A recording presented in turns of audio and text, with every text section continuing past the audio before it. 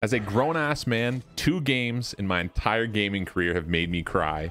Um, the first game was Ori and the Will of the Wisp when Ku dies. It's honestly one of the most beautiful scenes I've ever seen. And, and the entire game is a absolute masterpiece of a game.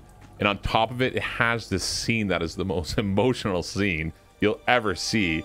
And I just, I love this game. And if you've never played Ori, you have to play it, man. You have to play both of them. It's probably the best platform game ever made. That's my opinion.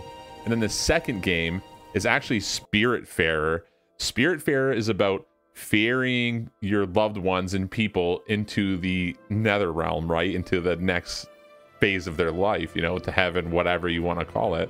And the whole game is about you're just making them comfortable. You're making them their favorite meals. You're making their house pretty and nice and you're doing all these things for them. And when they're ready to go you bring them to this spiritual place and you get to fair you get to ferry them off into heaven into the next realm whatever you want to call it. And honestly the first couple people that i sent off i cried every single time. So anyways guys Spirit Fair, ori and the will of the wisp those are the two games that made me cry as a fucking grown up. And uh, let me know what games brought you to tears in the comments below. All right. Please, if you got anything from this video, like, subscribe, and we'll catch you guys later. Peace.